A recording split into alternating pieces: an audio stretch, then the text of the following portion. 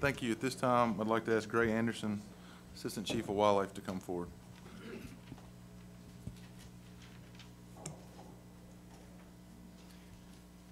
Thank you, Commissioner Teague. Commissioner Teague.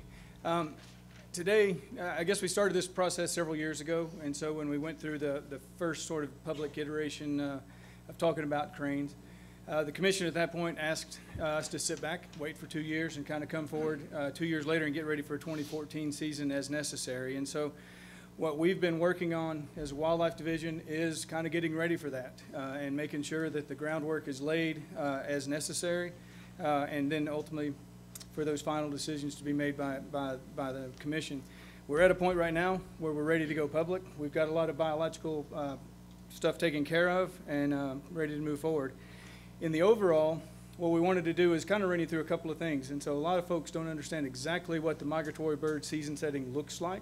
So I wanted to take some, uh, a little bit of time, run you through that so you understand the frameworks, what the frameworks are that we, that we work with with the waterfowl seasons, how we get to those frameworks, who put, who has input on those frameworks, and ultimately what the song and dance is with us and the feds uh, getting to where we are on any waterfowl season, and then ultimately talking about where we sit right now with our crane opportunities.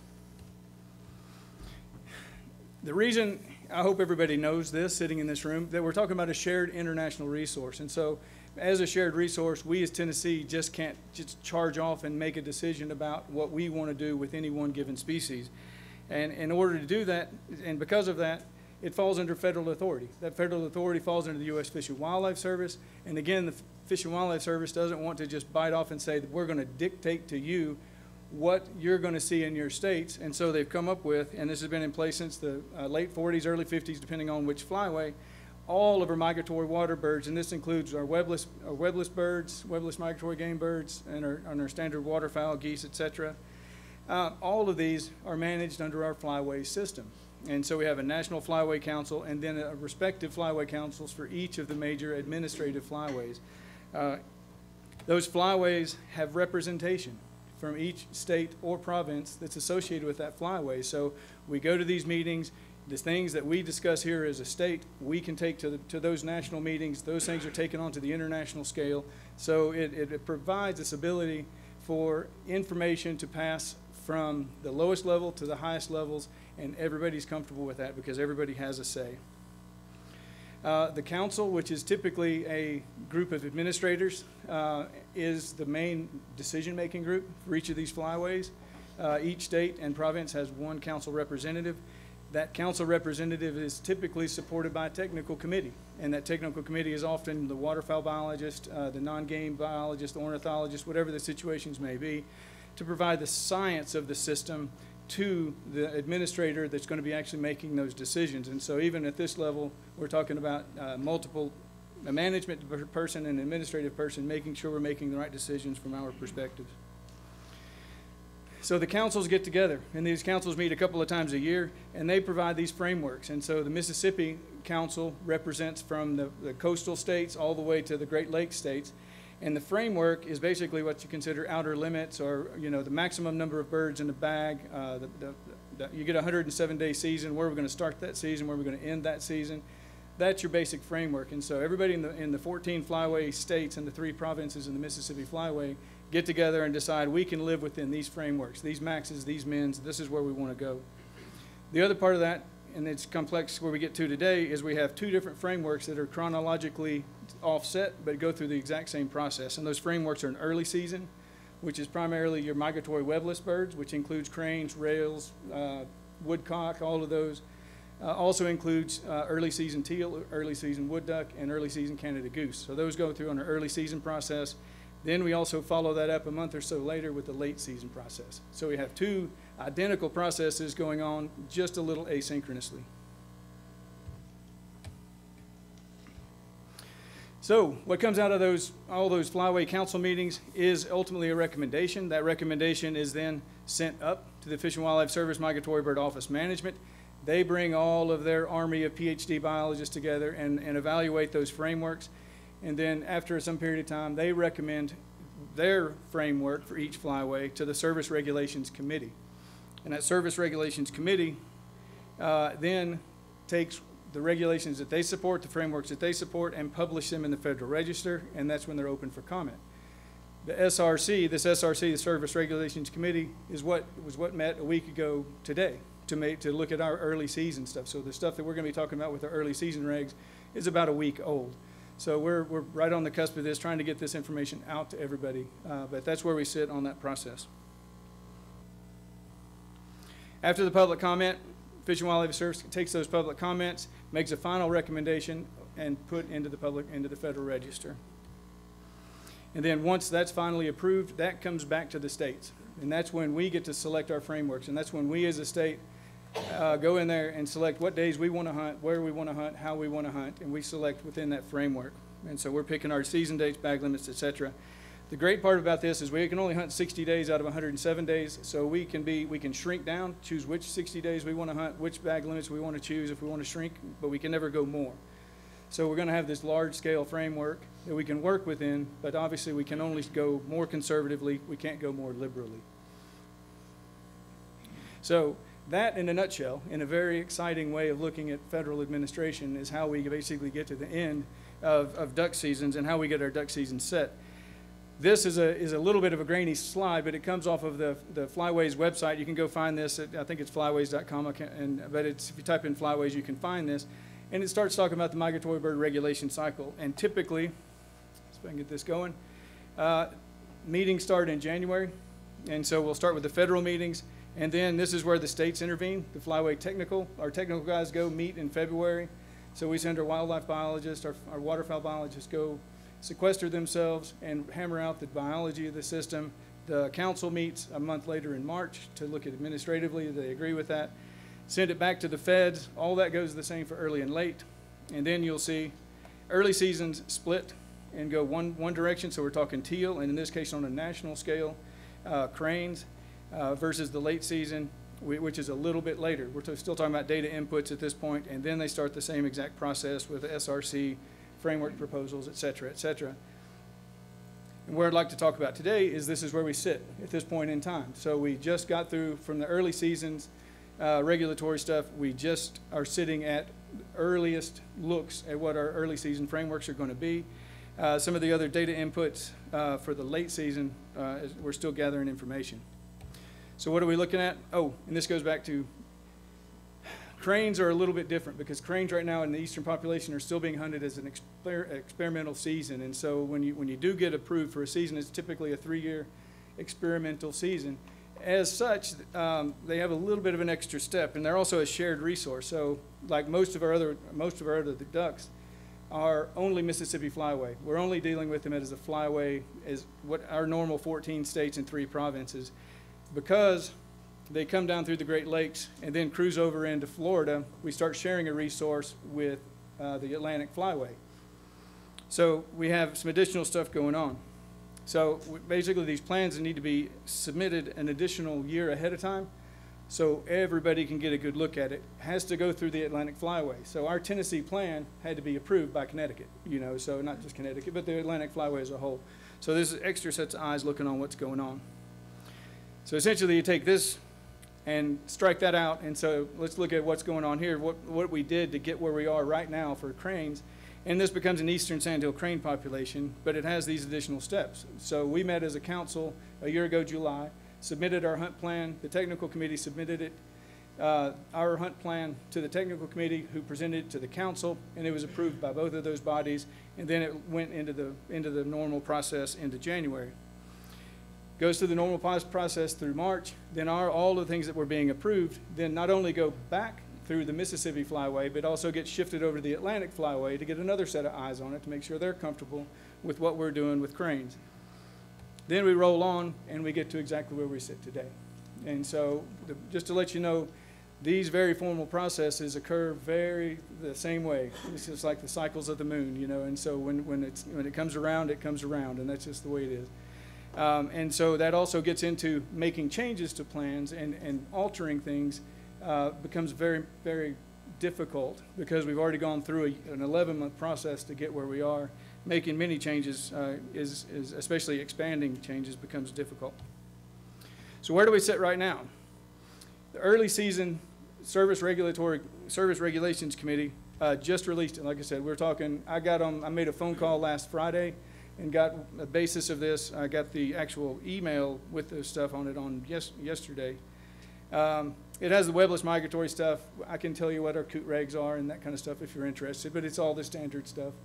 Um, we got our early waterfowl also came through, and then what most people are here to talk about today and interested in the proposed framework for the sandhill crane season. Looking at our late season, just to let you know, like I said, we're talking about the exact same process, asynchronously working. We're still collecting data. If you remember the, back to the graph, all our breeding bird surveys and our May pond counts have been done. They're being analyzed. Now they're flying all of these surveys, uh, getting uh, all of our uh, breeding population information is out there and being counted. So that we're still in data collection for the late season process. And this is sort of a bit of a side note, um, but it, it's a little bit of a glitch, we didn't know where else to add it into this. And so uh, at this point, we, we're still looking at a late season a liberal package, which is six birds in 60 days. The, the, the problem is when Thanksgiving backs up late into November, um, our 60-day season, when you take it to the last day of the season and then start adding back up, our 60-day season in or starts on Thanksgiving Day. Hunters aren't really keen on that typically. And so the other option is to take a day away and start it on Friday. Well, legislatively, they didn't like that either. We got a, a resolution a few years ago on that. So uh, the, the suggestion from the regional waterfowl, and, and I think everybody agrees with this, is we're looking to do a, a, an internet-based survey to ask waterfowl hunters and hunters in general. We have this little bit of a conundrum, do, you know, because the conundrum is, do we hunt on Thanksgiving Day opener, or do you move it to the Saturday before, which is opener of deer season? So we have two kind of unpopular options, you know, or potentially unpopular options.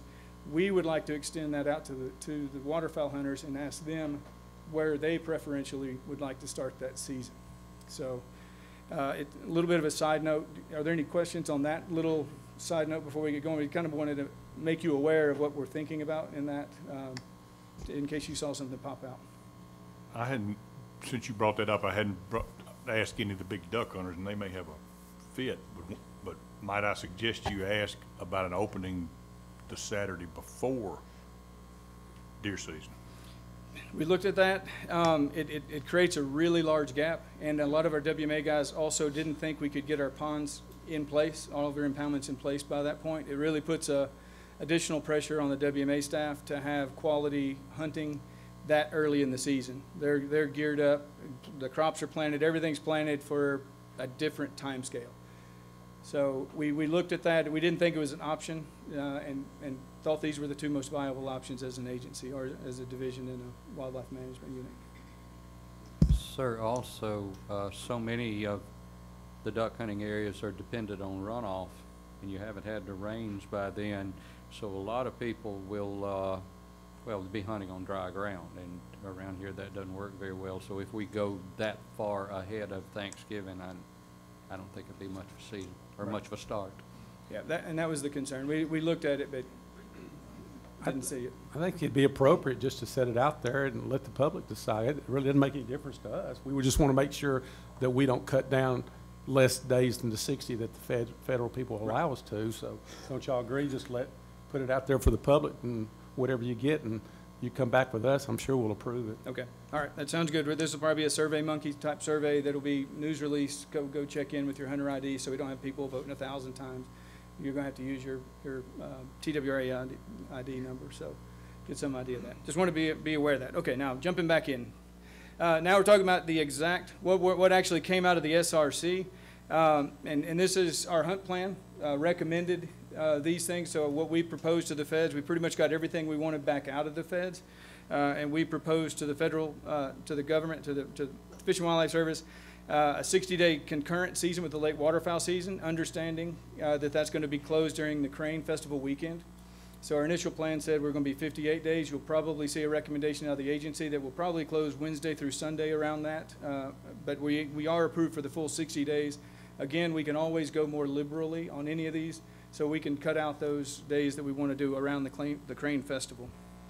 Uh, The actual zone that was approved, that, that's currently, uh, as proposed, uh, is east of Highway 56, which is this line right here, uh, and south of Interstate 40. And so primarily includes uh, the two impoundments uh, just south of there, Hiwassee, and then I believe it includes Watts Bar as well. Uh, hunting hours, same as the lake waterfowl, except we're going to close the season on public lands at 3 p.m. Also understanding that refuges are not going to be open ever, and so like Hiwassee Refuge is, is a waterfowl refuge, so we'll never hunt that. All other public lands are going to close at 3 p.m. Uh, this was uh, in lieu of a, of a buffer system, so this allows the birds to go back to roost without harassment to the, any public land that they might be using. The, the permitting process, a little bit different than Kentucky. Everybody's allowed to do things differently.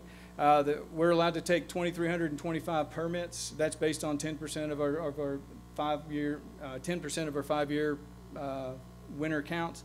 Uh, and we decided to do them in what we're calling three permit packets with the assumption that, a, that one, per, one hunter with one permit, not likely to go out there and hunt, but if they had an opportunity to take three birds during the season, that, that they may be more apt to get involved. So we have 775 three permit packets that will be issued with a handheld drawing uh, on or near the Hiwassee area uh, at some point before the season to issue those 2,325 permits as a maximum number of, of permits issued. Uh, As, as Kentucky, I mean, all these things are required by the feds. Reporting, all harvested cranes must be tagged and checked in. So we'll have a tagging system uh, and a check-in system to make sure the cranes are, are in place.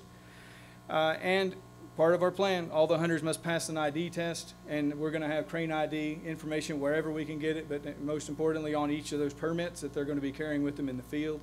Uh, We'll do everything we can to make sure anybody, you you know, misidentification was, is not going to be an issue.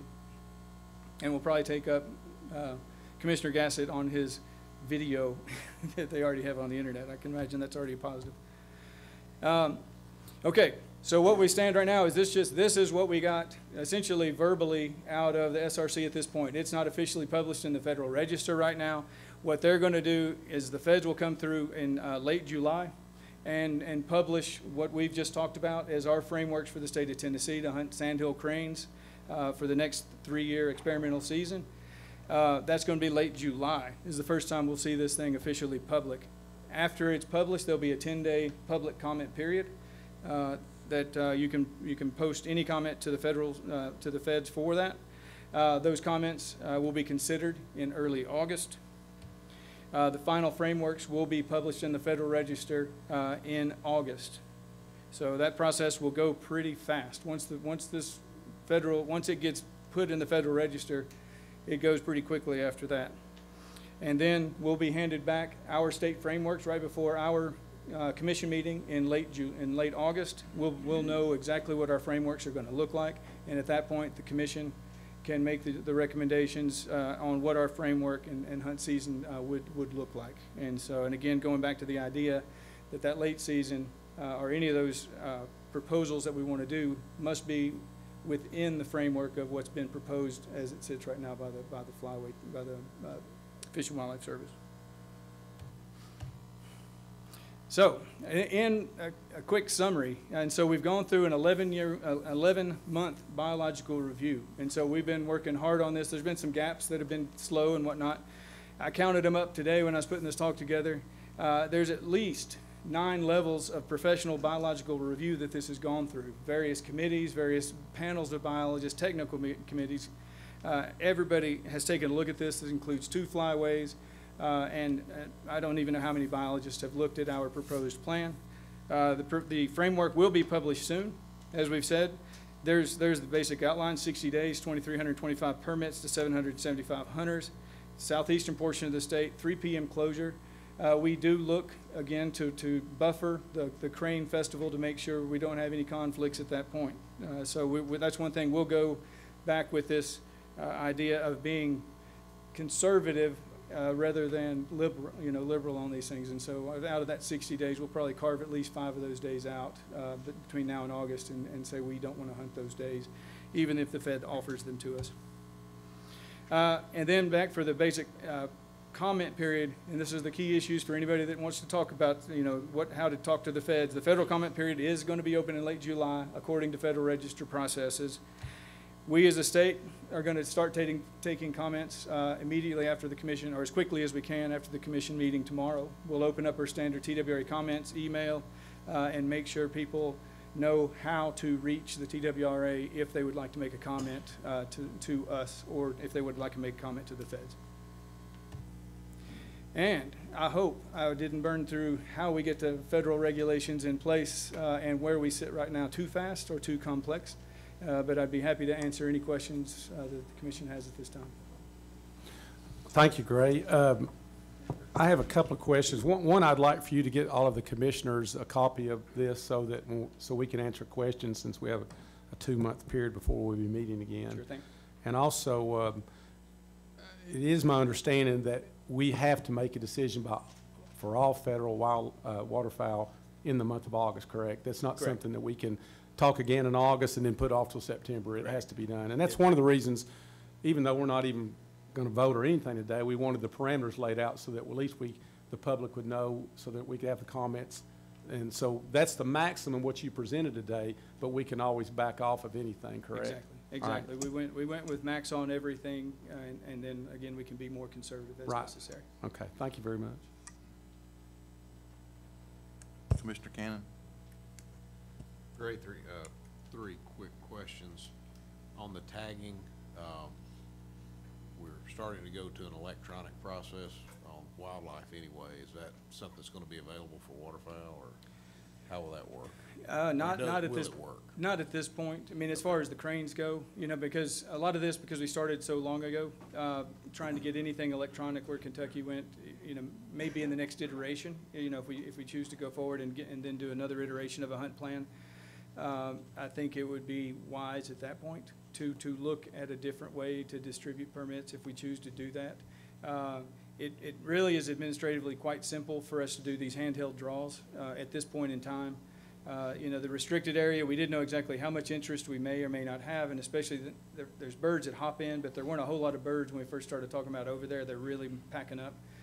Um, So the handheld draw was an attempt to pull people that would really use the permits and not just have them distributed across the state. And uh, so, but I think in the future, we'll see uh, this, this process mature that, that, that brings it into a more modern uh, process.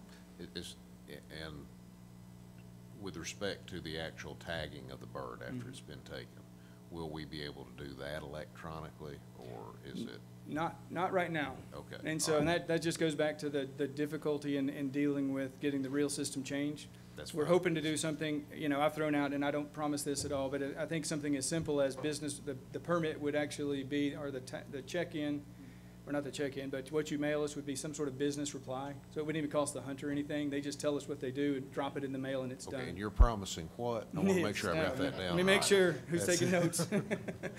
Yes. No, the So- second, you got it, thank you, I appreciate it. The second question is really more of a point of clarification uh, for me and the folks that are here. We're going to begin accepting comments on this as promptly as possible tomorrow, Monday, whenever that falls in place. Those comments are not what goes to the feds. If somebody wants to comment on the Federal Register, they have to do that separately. This is only for TWRA and the commission. Absolutely correct. Okay. And so that's why we'll, we'll put it in there that what we're doing to collect our public comment, that will go through our normal, exact same email, you know, that, that we do for all of our other hunt seasons. And so to get public comment, uh, we'll make sure people know that the Federal Register is a completely different system. And that is going, I think it goes to Minnesota, uh, for their final, the people that are gonna be looking at that, that go through that review process. Last question, unrelated to cranes. The early season dates, have those been set? Is, have we been given that information? I mean, they, they pretty much don't change. I mean, and so I can get you those, but uh, most, all of our early season, uh, dates are, uh, standard wood duck openers, standard Canada goose openers, you know, second Saturday for the wood duck teal season, Right. first Saturday for, you know, uh, for the, the goose. Are those formally official when the feds bless everything in August, or is Yes, it? okay. yes. That, everything at this point, every early season is exactly where the cranes sit, ready for open public comment. And so, uh, but uh, it will all become official in late February, or late August for us to, to, to move on at that point. Thank you, sir, appreciate it.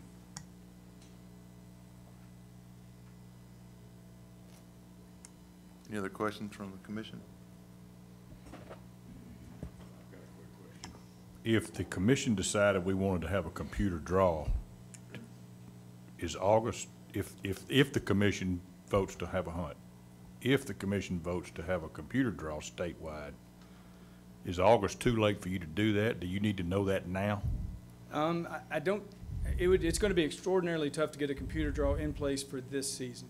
Um, mainly, it's still gonna have to go through, we, there is a chance you could talk to the feds through the public comment period and change that. I, I would say that's very low. If the commission chose to do that, I would, So I don't miss, why do they have anything to do with it? Why don't we? because the hunt, the- because the hunt plan that they approved, which included how we draw, and the, the how we draw said we will do a handheld draw on that area. So I, I would suggest the best thing for the commission to do would be when we go to the July com- council meeting, um, and talk, and try to amend our hunt plan, uh, to allow for that different kind of draw. And I don't think they would balk at that at all, uh, but I think it would be a more palatable approach and go through this first year with a handheld draw and then work on a computer draw after that.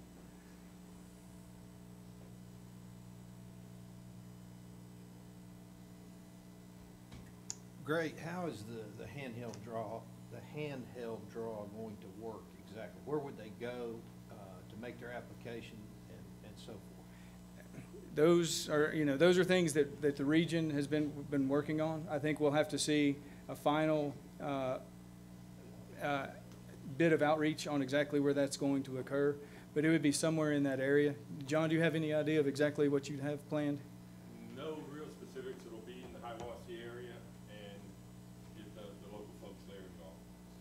But our guys are really willing and ready to go. And so it would just occur on one day, and you'd have to show up and, uh, make your application on that day, and then the drawing would occur that same day? I mean, is that, isn't that typically what we do with some duck blinds and, and, uh, Big Sandy and? Yeah, I'm shaking my head yes, but really the specifics are not in stone yet. so. Right.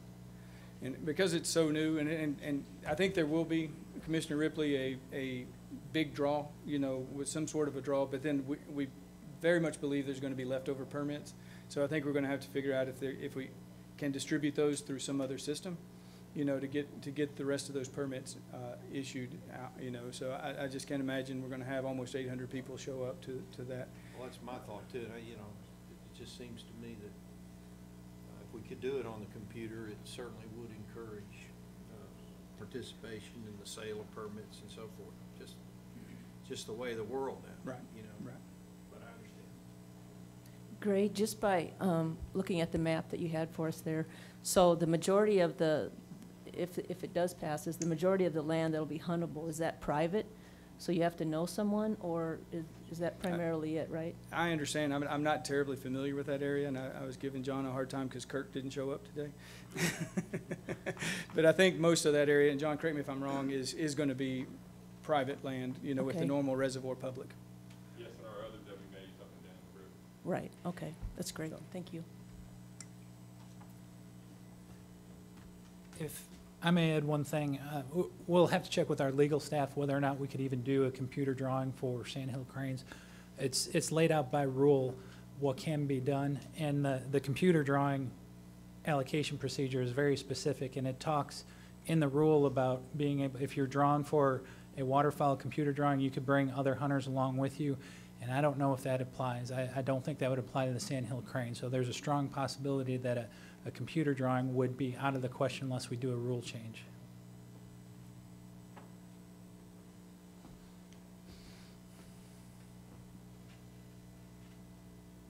Anyone else in the commission? Anyone from the audience?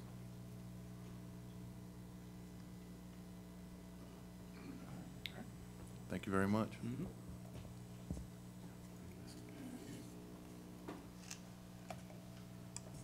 Before uh, Chairman Teague moves, I'd like to recognize a former commissioner, Boyce Magley's in the house, so thank you for showing up today, Boyce. I have a question for Commissioner Magley. It's fifty-eight days. You're sitting in my seat, It's well filled. Is fifty-eight days enough days to duck hunt? Sixty, we need to hunt sixty. Oh.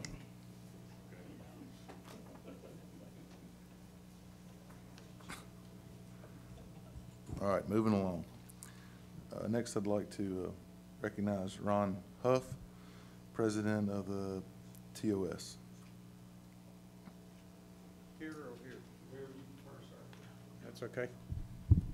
Uh, First off, my last name is Hoff, H-O-F-F. Get that correct right off the bat. I'm the current president of the Tennessee Ornithological Society.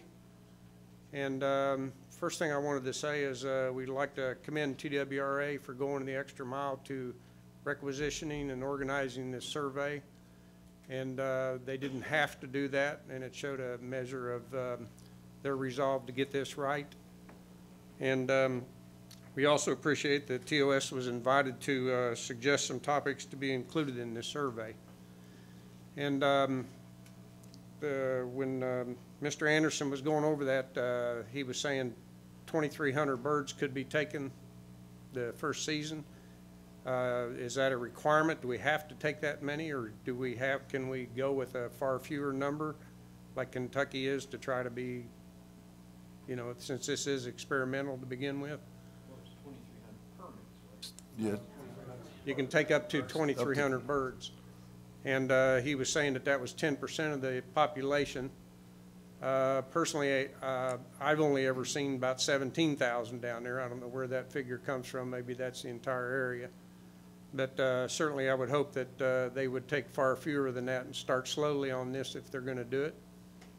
Uh, Of course, our organization would prefer you don't hunt sandhill cranes. It's, it's not an absolute requirement. We have hundreds of, tens of other species that we can hunt. Uh, They're a um, enigmatic species. I know there's, uh, the numbers have been wildly fluctuating. I've read emails lately that uh, the numbers vary anywhere from, they've increased from 30,000 to 88,000, I think I heard today. Um, I saw an email the other day from what seemed to be a respectable resource, and that number's not 88,000, it's more like 60. So the numbers are fluctuating some, and um, this is a species that doesn't breed like rabbits. They're lucky if they get one crane a year that survives to adulthood. And um, uh, TWRA, as I'm sure you all know, is a a vast agency. Um, I'm incredibly impressed at all the things they do, do in the state. And um, contrary to what the um, commissioner from Kentucky was saying, this is not a free deal. The answer is usually money. And uh, uh, Mr. Gray, or Mr. Anderson, I'm sorry, uh, was just saying that they've done all the legwork on this and all that, and nobody did that for free. These are tens of thousands of dollars that are hard-earned dollars. All the agencies in the state, all the cities in the state are hurting, sequestration, paying off our national debt. Money is going to be tight down the line, and this will cost money. The tags cost money, the people checking the tags cost money, the people going out there checking these birds in and everything else, all of that costs money. And what could that, you know, if we don't have this hunt, that money can go to other things. And so this is not a free deal, so.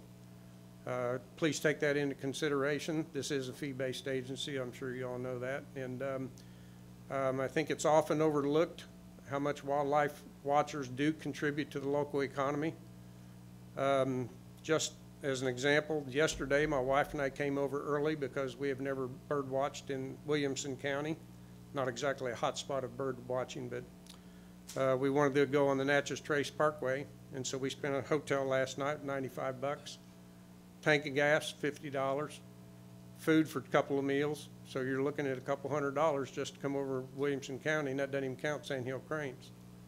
So wildlife watchers throughout the state are often underreported vastly, because we do contribute a lot to the economy. And not just bird watchers, I'm talking about people want to go out and see Bambi and all the other things. And um, the issue of having this uh, hunt um, in the Hiwassee area. Uh, He was saying we would close the hunt, they'd try to close the hunt on Wednesday. Now, when you're out there being shot at, uh, the birds are not going to stick around because they don't want to be shot at. And if you close the hunt and have, or you decide to have a hunt and you close the hunt on Wednesday, um, I'm not sure that's enough time for those birds to actually come back. You almost, look- looks to me like they're just going to have to have some leeway more than just a few days. because I don't think they're going to return, and that's going to significantly impact that festival. And this festival is several thousand people now and growing all the time. So just some things to consider, and uh, we, as the organization for Tennessee Ornithological Society, we prefer that you not vote to have this hunt. It's not a requirement. I know hunters like to hunt, and I used to do a little hunting when I was younger, too.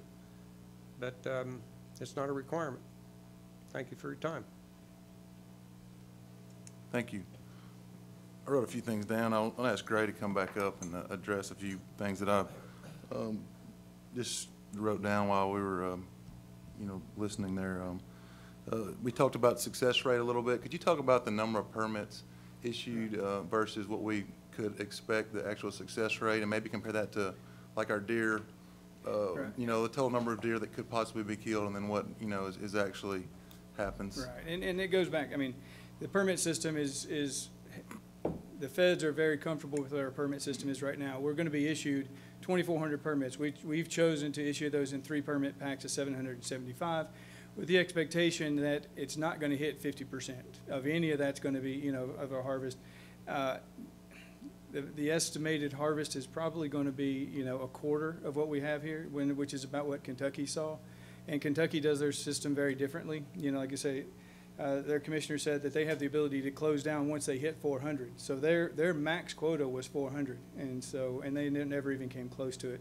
Ours is gonna be very similar to all of our other hunt draws, where we issue, uh, X number of permits and know we're gonna kill Y number of animals. And so we manage based on Y, not necessarily on X, unless we know those values change. These numbers that the feds have, have provided within their framework have been heavily fleshed out, vetted, however you want to think about that, on the national level, looking at percentage of birds on those staging areas, how many birds uh, are there, how many birds can we take, what would the ultimate impact of those populations be?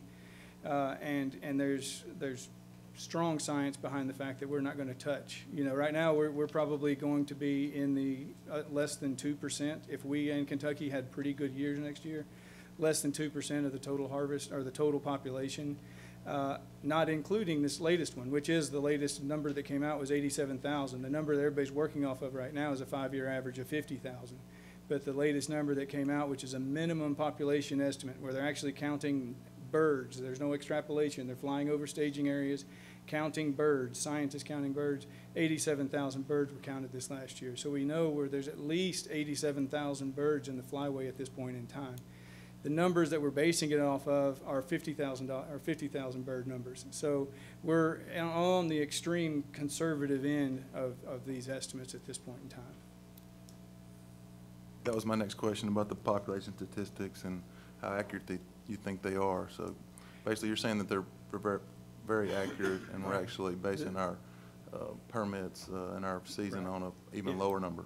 The science is solid. I mean, the feds, when the, when the, when the Eastern Population Plan came out in 2010, the feds went, went out and did environmental assessment. And so an environmental assessment is basically a look at your actions and what your actions are going to have on that population. And so in that case, the actions were harvest and the, and the im- implications were population going up or down.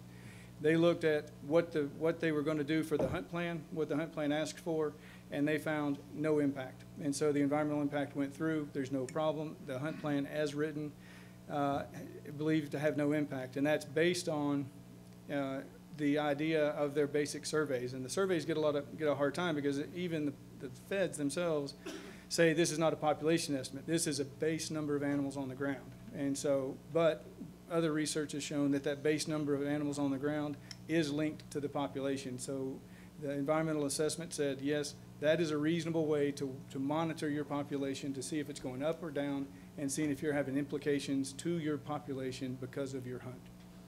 Uh, The next thing I wanted to ask you to discuss was uh, the amount of money the agency spends at the viewing area at this time, um, which obviously has a lot, you know, helps, you know, the festivals surrounding that area, and that's the, obviously, uh, seems to be the place that Right. wildlife watchers uh, love to go to see the I need to defer, I know this conversation's been going on between Daryl and John, and I don't know which one of you is more comfortable talking about that. It's, I've been talking science, they've been talking numbers. expenditure sheet here, if you'd like for me to answer it. It's uh, the total TWRA expenditure for the 2012 was forty-six thousand sixteen dollars. Um, Of that, though, that includes twenty-one thousand uh, for planting of ninety acres of corn at two forty acre and fifteen acres of wheat at hundred fifty an acre. So the actual uh, expenditures for the festival itself were, I I assume then, um, about twenty-three thousand. So we were gonna plant the, the, um, the crops anyway, and of that, we received forty-five hundred dollars from the Crane Society to help us in the planting. Uh, last thing, uh, how was the, or the date, the prospective date or possible date of closing the season on a Wednesday?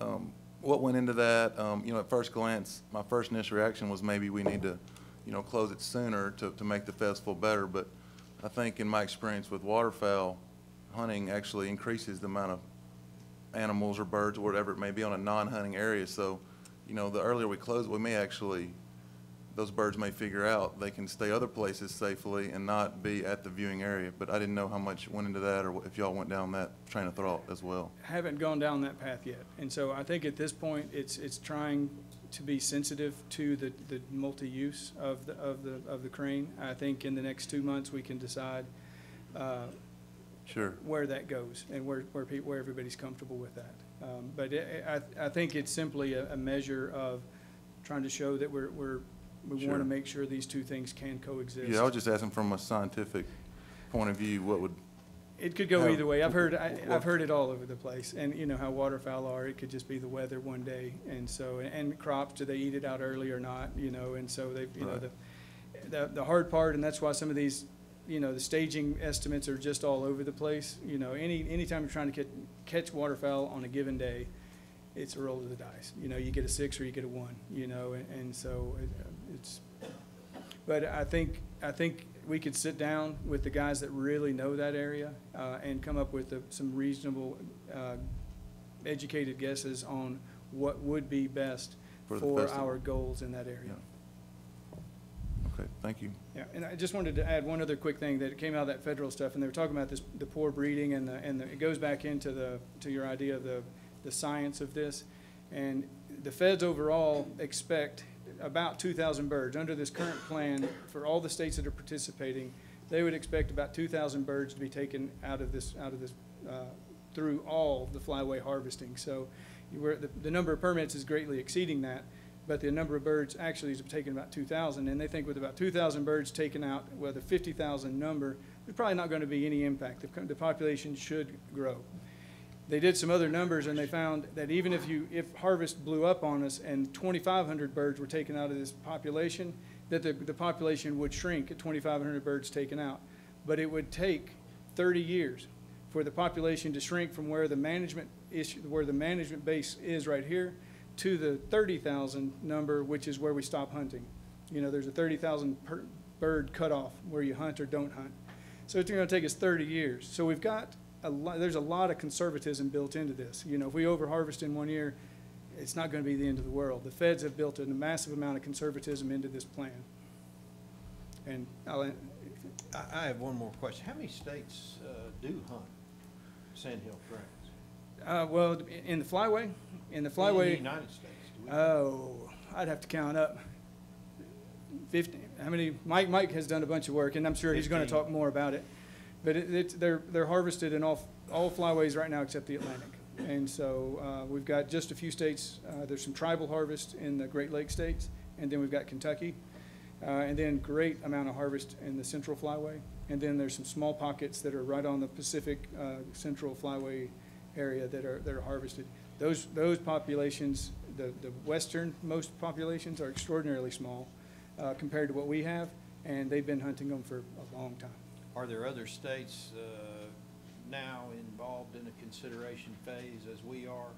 I think there's a lot of people interested. I mean, the, the, the, the northern tier states, you know, you look at the breeding, th- those, there's a lot of things that are saying the, the sandhill crane populations are burgeoning, you know, and so we think there's some crane prop, you know, depredation problems here. There's massive crane prop, depredation problems in the northern tier, in the Great Lakes states. They're, they're what used to be very small breeding populations in very localized areas. Now their, their surveys are blowing up uh, into new hotspots across the state. And so the, those populations are growing at a, at a much better rate. Uh, And so it, it's, uh, I think those states are gonna be looking for some harvest. I can't tell you when or where, you know, to speak for them, but I, I think it's, it's brand new. You know, we're only looking at three years into this. Um, Uh, so I think there's some other states that with time will, will jump into the, into the mix.